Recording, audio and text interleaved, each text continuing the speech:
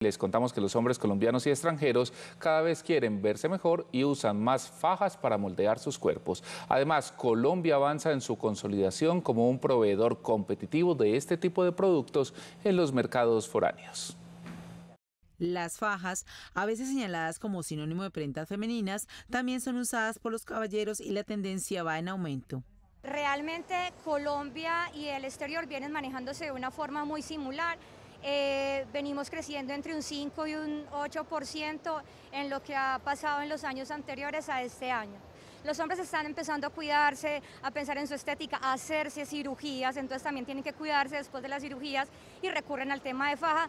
También están los que el día a día están en la oficina y no quieren, quieren verse un poco más delgados o están trabajando desde la casa y quieren mantener una buena postura. Las ventas externas también se dinamizaron. 146% crecieron las exportaciones. Estas alcanzaron los 45,5 millones de dólares, cifra del DANE con análisis de ProColombia. Vimos un efecto por pandemia donde en las cuarentenas las personas empezaron a aumentar de peso pues a todas las causas que se dieron por el COVID y a su vez los gimnasios cerrados, bueno, las restricciones para salir.